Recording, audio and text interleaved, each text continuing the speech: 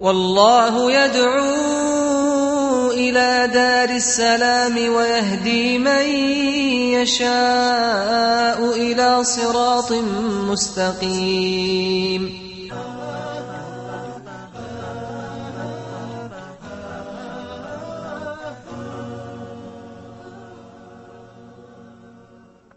Assalamu alaikum wa rahmatullahi wa barakatuh. Welcome to a new episode of your show, Inspirations. We're still trying to build the foundations of Islam in ourselves as we are dealing with the great hadith of Jibreel. Uh, may Allah's peace and blessings be upon him. Today, inshallah, is considered to be a sequel to the first episode about zakah. We will delve into zakah. We'll carry on with talking about how, how Islam frees the Islamic, or the Muslim soul, or the person's soul from greed, and from excessive love for wealth and for money. And it opens the heart for more goodness and increases the person, and increases the love the person has actually for other people uh, and other nations as well. Uh, other things we will see is, are the examples from how the Prophet ﷺ struck the best example in how to be a generous person and how to understand the reality of wealth and money and how to deal accordingly. Other beautiful examples will be from the companions. May Allah be pleased with them.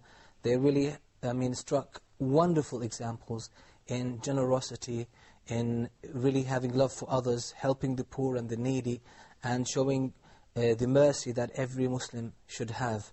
And we have some other things as well to talk about, but before we go into that, let me remind you of our email address. Uh, keep sending us your emails uh, at inspirations at huda.tv, and you can still uh, visit our website, which is www.buildingthefoundations.com. Let me now welcome our guests. We have Brother Samih with us, and we have uh, Yasir, and Feroz, and Muhammad. Assalamu alaikum wa rahmatullahi wa barakatuh. Okay. We talked about zakah generally, in general, how Islam really encourages people to give in charity, to care for the needy and the poor people, and to feel their suffering. And it reminds us that we all come from one person. We're all the creation of Allah. And we said that this wealth, this money belongs to Allah. We only have it as a test. It's only in our hands to serve some purposes, noble purposes. It's not for us to serve money, save it, and spend our lives just trying to get as much money as possible, then save it, then die and leave it behind us. Because we will be questioned about all of this. Uh, then we talked about how uh, the Prophet ﷺ was uh, very generous, and he taught us this generosity, how Allah subhanahu wa ta'ala urged us in the Qur'an to give more, and he uh, promised a multiple reward for those who spend in charity. And we all know the verse in Surah Al-Baqarah where Allah subhanahu wa ta'ala says, مَثَلُ الَّذِينَ يُنْفِقُونَ أَمْوَالَهُمْ فِي سَبِيلِ اللَّهِ كَمَثَلِ حَبَّةٍ أَنْبَتَتْ سَبْعَ سَنَابِلِ The example of people, or the people who give in charity for the sake of Allah, is like, you know, like the wheat. When the wheat grows, one grain will give seven, 700. Each grain will give 700. So it shows that when you give, you know, one dollar, one pound for the sake of Allah, you will get 700 times the same, the same reward for that. More. Yes. So it just uh, opens, you know, the horizons of every person that don't be limited, don't let your insight be limited to the wealth that you have, that you possess. What Allah has is better. And every time Allah mentions the pleasures of this world, Allah says, Wallahu indahu husnul ma'ab, and Allah has better than that. And Allah has greater reward. In order just to remind us of the reality of this world and this life. Now, uh, we will try to start with some of the examples. If you know any of the examples, any of the incidents or instances where the Prophet ﷺ gave for the sake of Allah, or how the companions gave. So that makes a good start for our show today. What did, can you recall anything? I remember once a companion came to the Prophet ﷺ and uh, he presented him with, uh, I think, a sweater or a shawl, something warm to wear, or a shirt. And another companion said he wants it from the Prophet ﷺ, and the Prophet ﷺ, without asking, gave it to him. And the companions later scolded that other companion and said, You know the Prophet ﷺ needed that shirt or that shawl. Yet the Prophet ﷺ's generosity was such that even if he needed something, he'd give it away. Yes, subhanAllah. So it just shows that the Prophet ﷺ, as one of, of the companions uh, described him, he said, he never said no to anything he was asked for. Every time you ask him for, you ask him for money, you ask him for clothes, you ask him for food, he will always give. He never said no in his life. Every time anyone asked him, he would give even this is a beautiful example as well, that when it was given to him as a gift, you know, when someone gives you a gift, you're happy about it. You just want, you need this time to enjoy it, you know.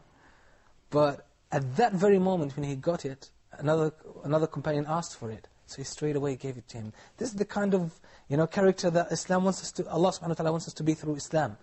So every time we read the Qur'an, we try to understand it and apply it. Inshallah, we'll get closer to that. Can you remind us of other examples? Yes, there is once uh, guest came to Prophet Muhammad sallallahu alaihi wasallam. So Prophet Muhammad sallallahu alaihi wasallam he asked for his nine houses, and he get answers there is no food. So Prophet Muhammad sallallahu alaihi wasallam said, "Who will take my guest today?" So one of the companions, without even asking what's in his house, he said, "I will take it, Ya Rasulullah sallallahu alaihi wasallam." I went to his house, and his wife told him that all we food we have is just enough for the kids. So he told her, okay, just make them feel like you're preparing the food until they fall asleep. And then he told her to put the light a little bit down and put the food in front of the guest. And he and his wife will pretend that they're eating while the guest will take all the food. Next day, when he went to Prophet Muhammad sallallahu Muhammad said, Allah subhanahu wa ta'ala was amazed and happy what you done yesterday. So subhanAllah, even they have limited food, even for them kids, you know, they sacrifice in a case, in a, in the sake of Allah subhanahu wa ta'ala to uh, hostel the guest of Prophet Muhammad sallallahu alayhi wa sallam. MashaAllah. So it shows that how the companions of the Prophet ﷺ were. And uh, this goes as well with what we said, just said about the Prophet ﷺ. He never said no. Even he didn't have anything to give, so he went to his companions to see anyone would entertain my guest. And they even, you know, favored that guest over the, themselves and their children, and they gave the food to this guest who was, actually he, he basically, uh, he was a man who came to the Prophet ﷺ, uh, he said, for, you know, many days I haven't had any food at all.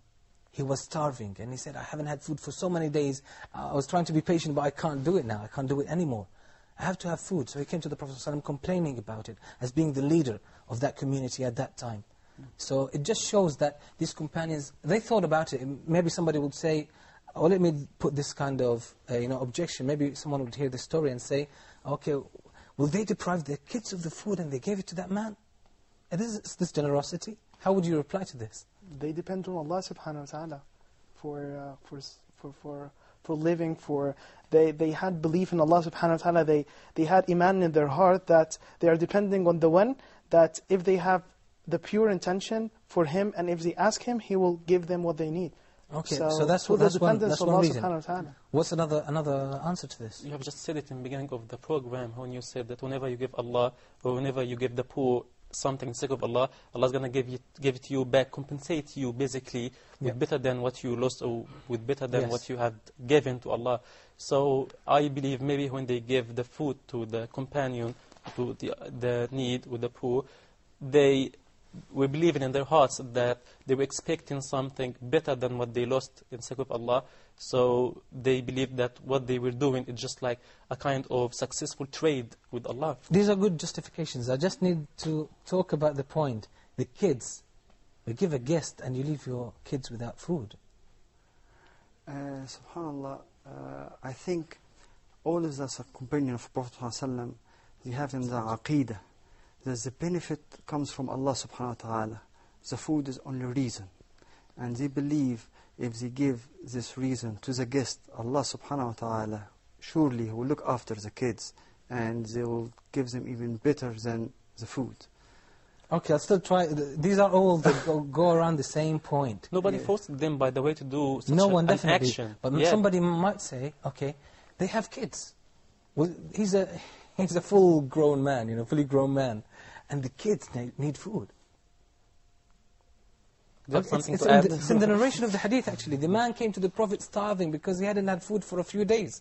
And the kids, they had maybe food for that day. Maybe, but maybe he was dinner? a guest. Maybe he was a guest from uh, guest of the Prophet Muhammad sallallahu That's the point. That's a, that's a good point. But the thing is, yes, his food, his kids, they had food for the day. Yeah, yes. But this is their dinner. Uh -huh.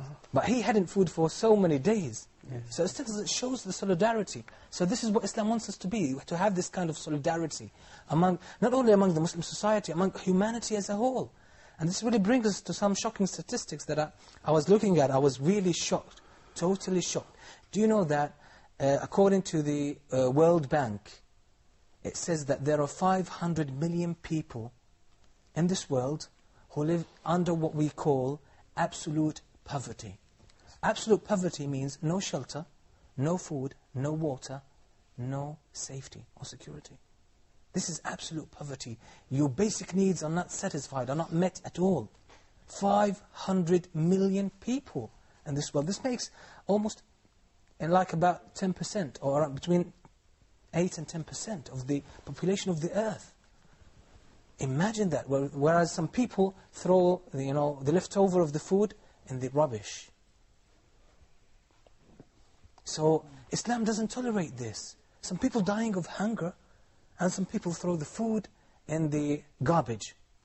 This is Islamically not accepted at all. And do you know how many people die every year? You know, many people talk, talk about, especially some of the people who make a lot of money, and we don't uh, prevent people from having ex excessive money. If you use it correctly, that's wonderful, and that's good. And we, I think we, we dealt with that issue last time, last week when we dealt with it. Alhamdulillah was very good. And we explained the Islamic perspective on this, that if you have money, possess more money, and you use it for good uh, causes, this is better than being poor and being in need and asking people for help and for food and for shelter. Qarun is the best example for what you yes. just said now. We, I, will, I, will, uh, I will ask you to talk about Qarun as you brought this up, but let us try just to focus on the problem that the world faces today. Yes. Yeah. Many people, you know, they just waste their money on, uh, on luxuries, things they don't need.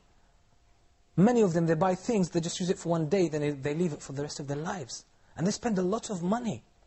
Whereas, every year, there, there are 15 million children who die of starvation. Die of hunger every year, 15 million children. Most of them are in the Indian subcontinent.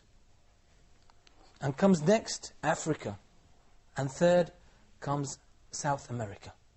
In these three continents, 15 million children every year die. And then some people talk about, you know, being uh, humane, care for humanity, care for the global unity, and all that stuff. What about these people? You spend excessive money, you waste it, you throw it in the garbage, and even, you know, the lost cats and dogs that wander, you know, in the wilderness, they've become so obese because they eat of this food in the garbage. Whereas human beings are dying, kids, children, who haven't reached the age of 15 years old. They die, 15 million children die every year. I read that in the European Union. Yes. Every cow earns $2 a day. And most people in the rest of the world don't even earn a dollar a day because the European Union subsidizes its farms so much that every cow earns $2 a day. Wow, that's great. that's profound. That's really profound. I think that is the importance of zakah. And Islam, subhanAllah, make it one of the pillars. You know, because yes, Allah one of the pillars of Islam. Yeah, one of the pillars. So if this is why we're bringing these statistics, just to say to the world, you know, those you know, uh, human rights activists, you try, you always try to say, okay, our brethren in humanity, our brothers and sisters in humanity, people in Africa, people in Southeast Asia and Indian subcontinent, people in the poor countries, they suffer from illnesses, from diseases, and from uh, starvation. We have to help them. No matter how much you try, there is a lot of greed in the world today that governs politics everywhere. So you can't get that. If you really want to achieve your goals, come and look into Islam. Look into the system of zakah, how it deals with it. Now this is a reality. You know the money that the, the governments, especially in the West, uh, and the advanced countries, the money they spend on military purposes is so huge, it's unbelievable. You know, the, with the, what a rocket or what a, let's say a missile, what a missile, the, the money that you need to make a missile, one missile, you know, is enough to feed a school in any, of, any country of the third world for five years. The kids every day have lunch. For five years, this equals the same money they spend on making one missile. Imagine the military, or the military spending, expenditure that we find in the advanced countries. And then we, we talk about you know, bringing freedom to the world. going to Afghanistan, going to Iraq, bring freedom to these people. We kill them and we bring them freedom. Yes, you freed them from this world, but you didn't really free them. There are other ulterior, uh, ulterior motives. Brother, that's, wh- that's why I say they, they, they lost the aim of life. They don't have the aim of life that we have in Islam. That we will be accountable for every action that we do in this life. And we will get back to the owner of all the things. And he will ask us for the money that we have spent. Like uh, Yeah. the, the last episode where we were talking about Yeah. the money that we, how it came and how we spend it, stuff like that. And subhanAllah, yani, they, they don't just understand. Muslims sometimes, non-practicing Muslims sometimes do what, what, what- you're saying here. They don't understand that zakah is like a tree. If you cut its branches, it will grow. It, it, it, it will stimulate it to grow. Exam, exactly like plants and, and, and trees, if you got small branches of it, it just will grow more. That's, that's, that's why we're talking about Islam Yeah. as being, the zakah as being a pillar in Islam. Islam is being established on these five pillars. We didn't say, the Prophet Muhammad ﷺ did not say Islam is formed of five, is- Islam is established upon these five pillars. Yes, yes, that's a, that's a wonderful, really uh, kind of uh, conclusion you take from the hadith. That Islam is based on these.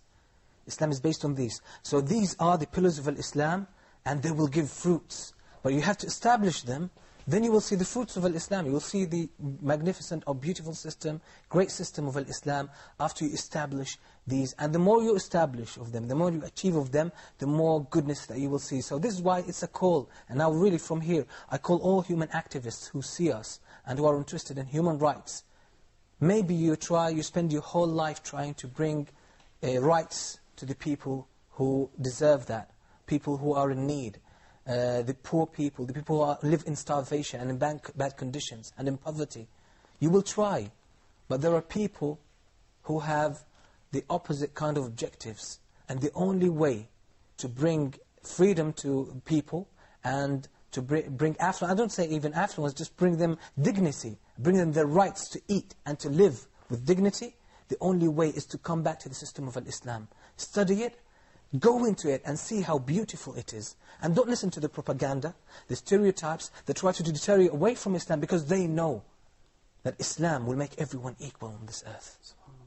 We're not talking just about the Muslim world, we're talking about all human beings everywhere. They have the right to dignity, to be dignified. They have the right to food, to drink, to shelter, to live as human beings, not to be considered as animals. Even the animals in the West, the dogs and all the rest of the pets, they eat more than the people in the third world. Why do we spend all that money on the military purposes and that, that, that is only incited by greed to dominate, to control other countries, to control their resources and confiscate them? And when we talk, we talk about freedom, we talk about liberty, we talk about liberating the, the, the masses, liberating the people from their rulers and all that stuff, then we subjugate them. We humiliate them, and what do we do? We leave the rest of the world 500, peop 500 million people live in absolute poverty. We'll go more into this. We'll try to see how zakah has the potential to deal with all this problem, solve it from the roots. So we go, we all, once we, you know, affirm the foundations, the roots, we'll get the right fruits, inshallah. So let's go now to a short break, and I say to all viewers, stay tuned, we're coming back soon.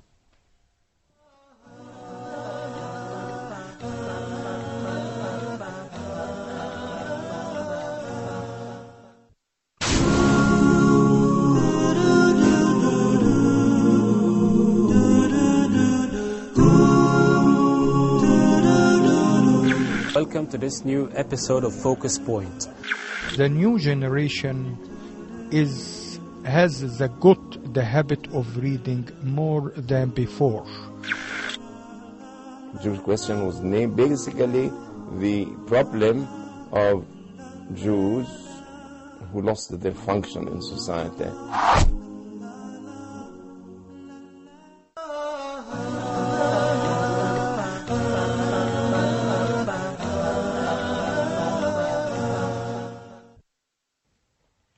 Assalamu alaikum wa rahmatullahi wa barakatuh. You're still watching Inspirations. We're talking about, still talking about zakat. We said that Islam, as many times, we repeatedly said that Islam has the potential. Islam is the only way for humanity out of all the calamities they brought themselves into, like poverty, oppression, even the political, political problems, all of them can be sorted out easily with Islam. And we're taking today zakah as an example. And we uh, mentioned some of the facts and statistics that really shock everyone. How do we live in the world like this? And we talk about being human, talking about helping others, talking about freedom, talking about promoting, you know, democracy. When uh, so many people are dying of hunger and we're enjoying, you know, the luxuries. And we're, we're killing people for these luxuries as well. So, as we said, this is, Islam does not tolerate this. Islam is totally against it. This is why we have the great system of zakah in, in Islam.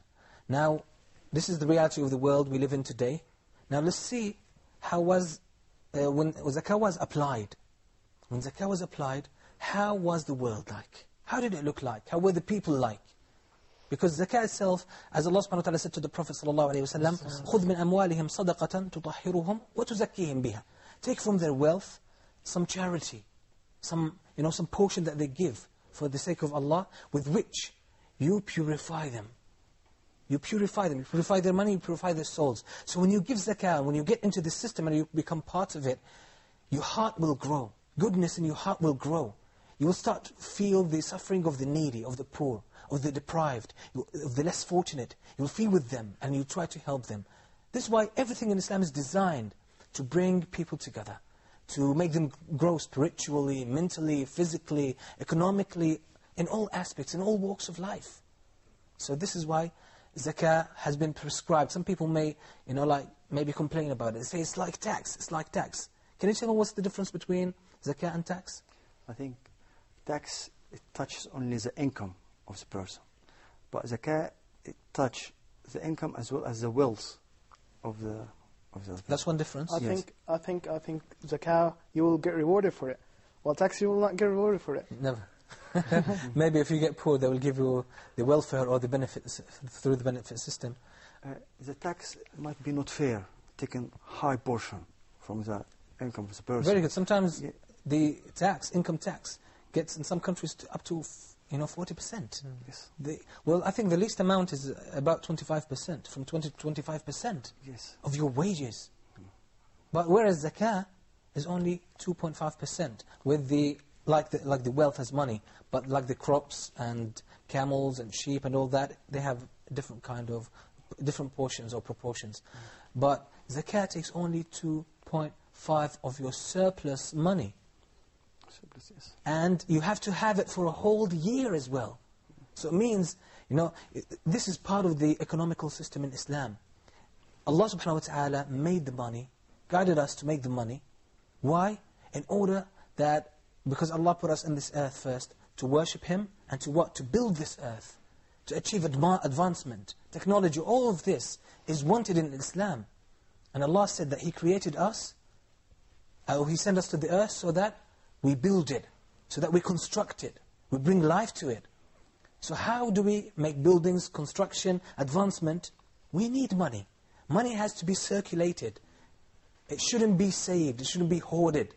It has to be among the people.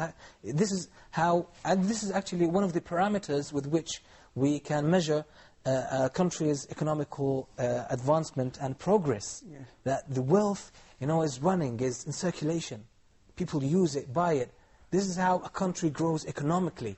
But if we start saving the money, the economy will go down. Everything in life will go down.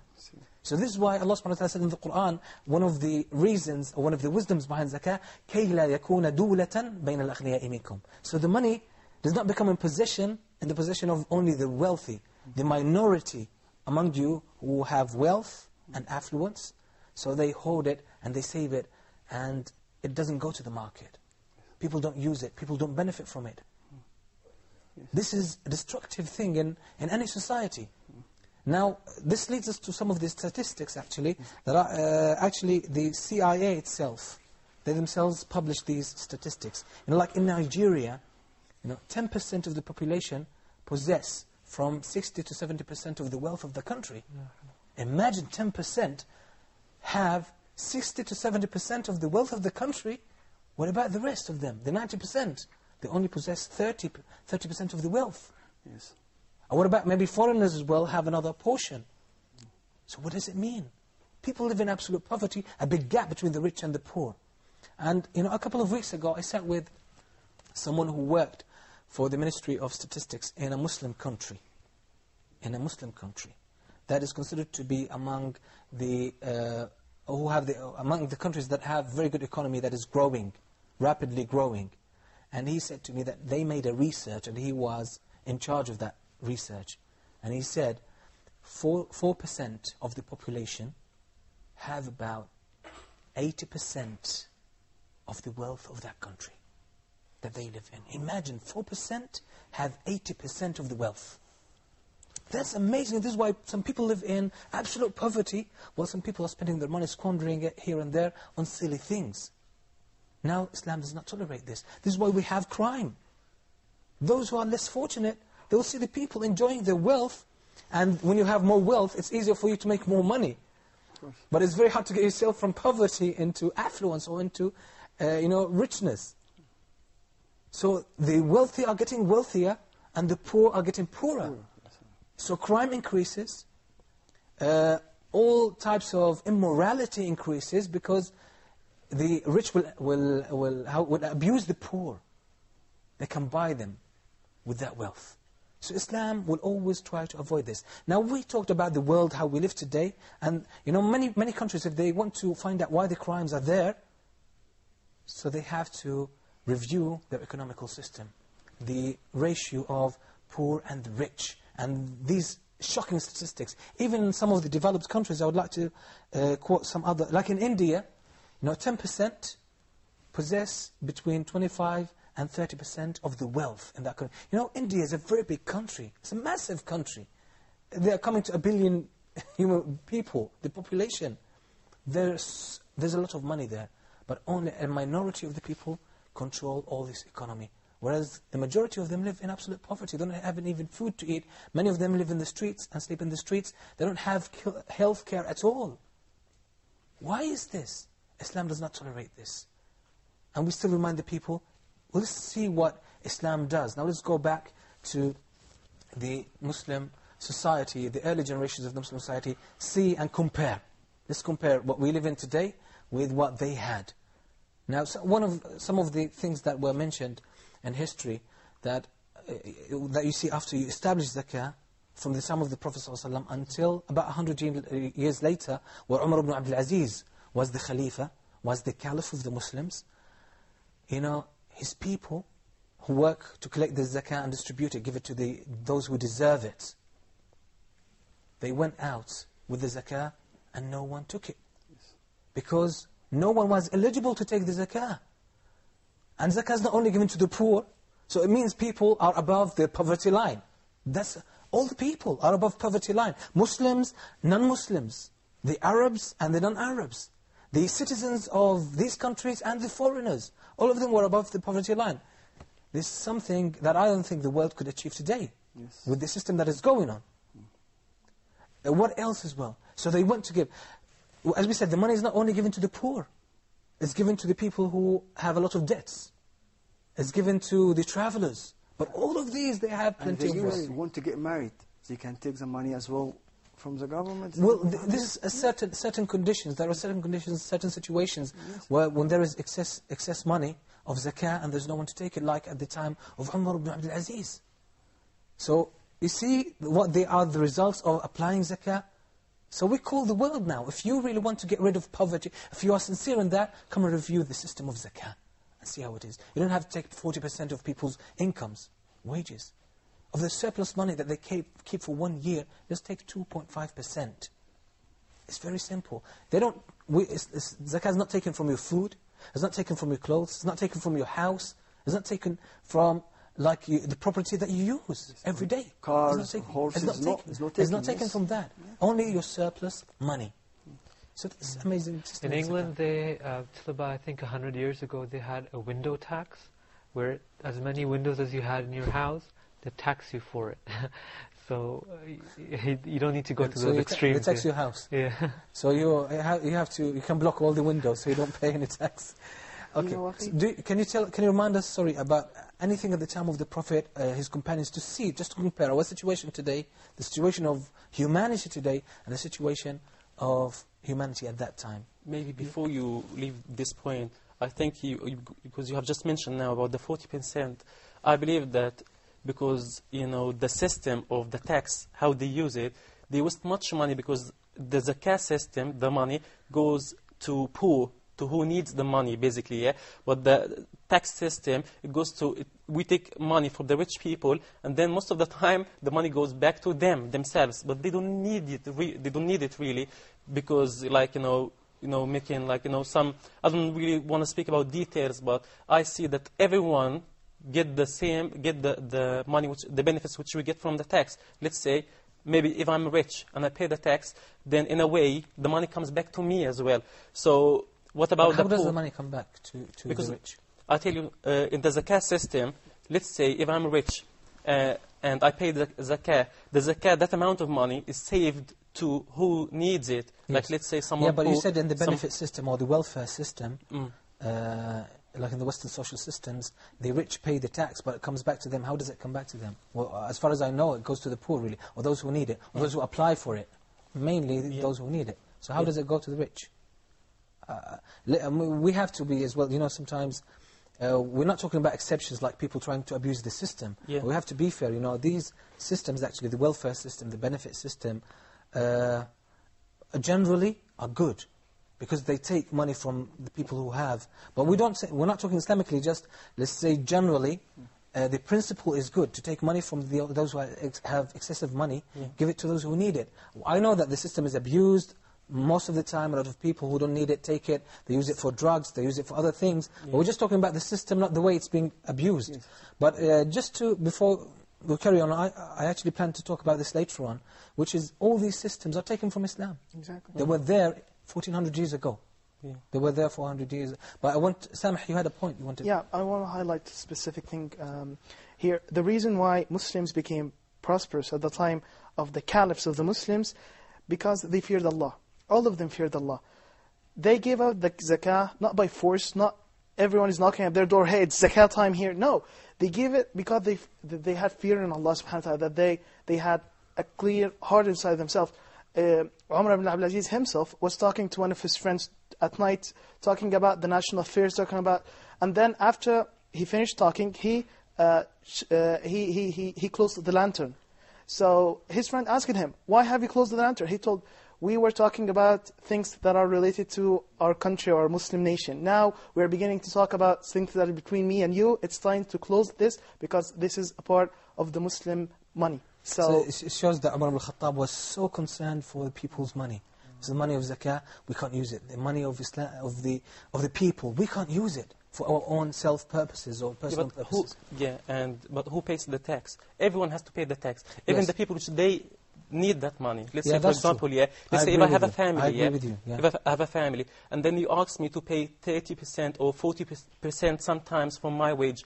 Let's say I have a big family. Let's say some of my family members need health care, needs this, need that, and then end of the day I find you take, you know, a big chunk of my money. Yes, that's right. You know, yeah, it could be, you know, it could be abusing for me. Maybe someone else could be able to do it. Would maybe would be able to pay that amount of money, no problem for him. But you are doing this with everyone. But the zakat system is much different. First of, course, all, of yeah, first of all, I have to reach, you know, a limit. My money, the amount of my money has to reach a limit. So after that, um, uh, that level or that limit, I start be like I be entitled of paying zakat. and The you have to have it for one year as well. Yeah, this is something You didn't do anything with it. Yeah, but the first, the first point, I have to be rich. My money Yes. has to cover, first of all, has to cover all my needs, my family members, our health care, our food, everything, yeah? Then after it covers all these expenses, now that amount of money which left over has to, to ke- uh, I have to keep it in whatever, my bank or whatever, for, in my possession for the whole year. Yes. Whenever I need that money in that whole year, the zakat system in a year is not implemented upon me. Yeah. Why? Because I needed that money. But when we come to the first you know, system, which like most of the countries basically use it, they take the tax from everyone. That's Even true. the people, should, they need that money. That is true. That's So- true. Because sometimes the, the That's what I defining the poverty line is not really clear. Because sometimes, like in the UK, uh, I think it's about 4,000, 4,500 a year. Above this, they start taking tax or deducting tax from your wages. But you know, in London, when you earn 4,000, 4,500, you can't even pay your rent. You even if you get a studio or small room, you can't even pay that rent. So. Yeah, so still, you know, it goes back to the way the system is applied. But what I said, ori- the origin of the, these systems has been taken from Islam. And it's good that Samih mentioned Umar ibn al-Khattab, because uh, there's a beautiful story about Umar al-Khattab. It just shows that when we implement the zakah system, when we apply Islam as a whole, uh, the, you know, the whole of humanity will live a wonderful life. A wonderful life, peaceful, with dignity, no need for being a thief, no need for stealing, no need for oppression. On the contrary, your right will come to your doorstep.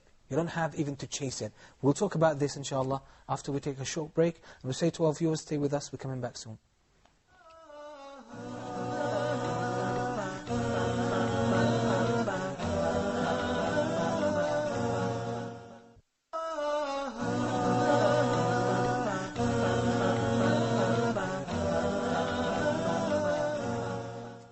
Assalamu alaikum wa rahmatullahi wa barakatuh. Welcome back. You're still watching Inspirations.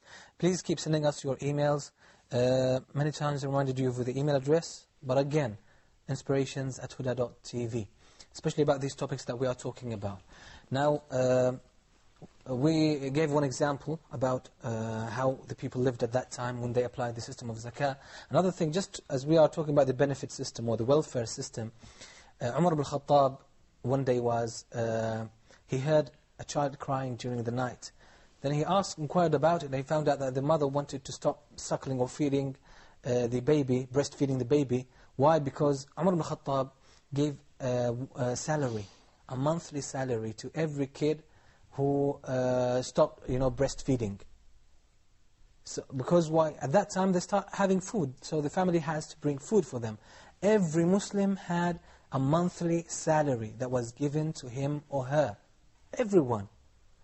So, when he inquired about this and he found out the reason, he said, don't torture the child. Then he changed the, uh, the system and he said, every Muslim, once he's born, he will get his monthly salary. Could you imagine this? Not even in the, Western world, I don't think you still get that anyway. But it just shows that even these systems in the West, they came from Islam. They were there already. That, we're talking about about 400 1400 years ago. That was the system in the Muslim world.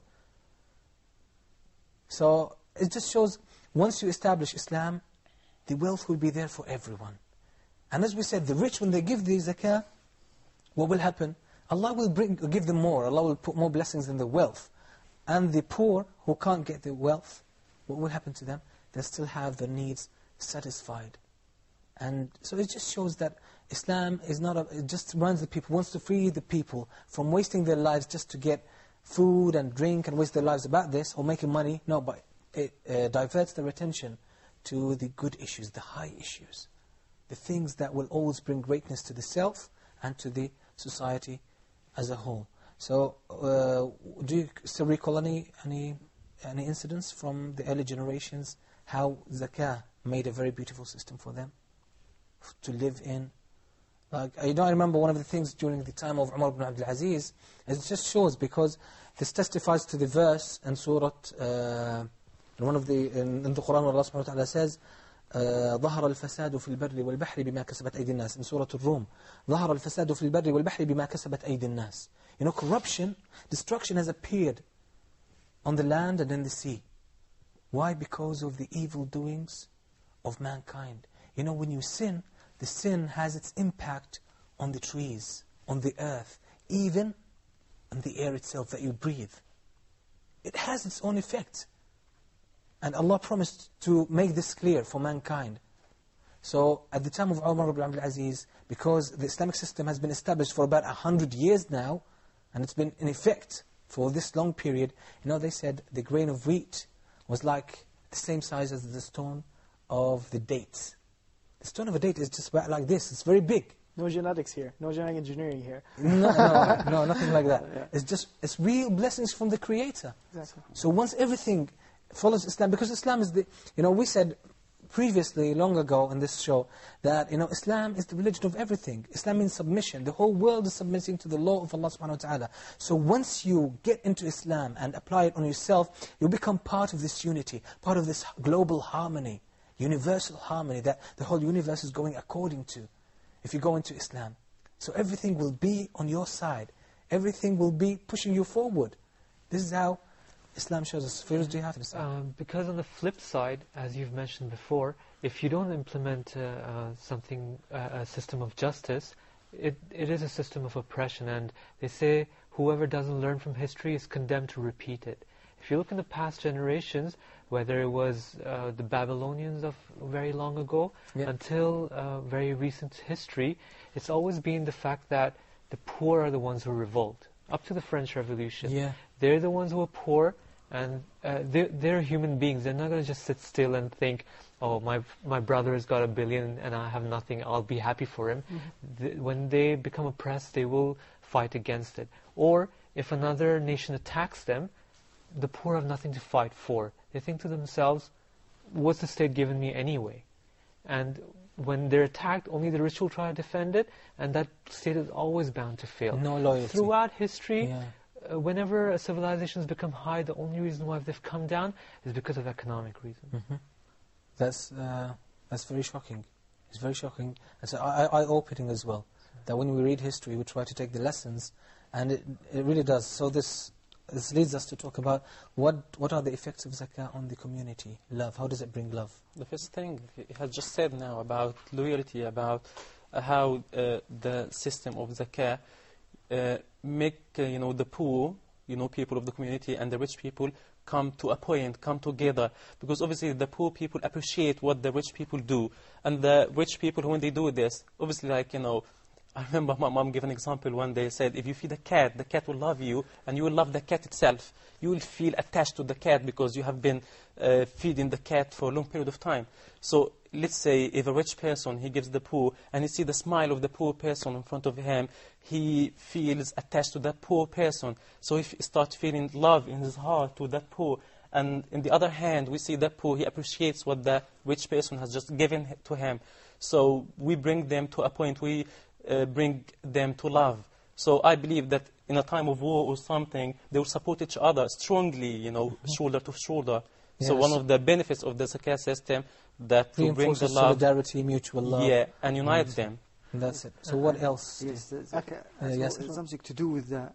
Uh, you know, the zakah is purify the soul of the poor person from the envy and the hatred against the rich person. That, uh, And at the same yeah, time, brings a mercy into the heart. Because to help, you have to have a mercy, the heart of the rich person. And, yani, and the people who got a mercy in them, Allah subhanahu wa ta'ala be mercy. Ar-Rahmun yarhamhum. Mhm. Allah subhanahu wa ta'ala. So- and with the zakah, yeah. it's build good and integrated society as possible. You know? So it's actually for our own benefit, not even we give from our own money, but the rewards are greater in this world, even before the next. Samih? You know, one statement, zakah equal universal brotherhood between Muslims. That's a very good uh, conclusion. By the way, Yeah, we can come up with, from today's episode with, yes, universal brotherhood. Zakah means universal brotherhood. Uh, I, yeah, I'll tell you something. Look, in, in the West, you know, they have like you know some benefits of the systems there about the welfare, which have been taken from zakah as well. Obviously, yeah. As we see and the history, look at the history. 1400 years ago, obviously, you know, far, uh, you know, before previous, you know, that new systems at the moment in our new recent days.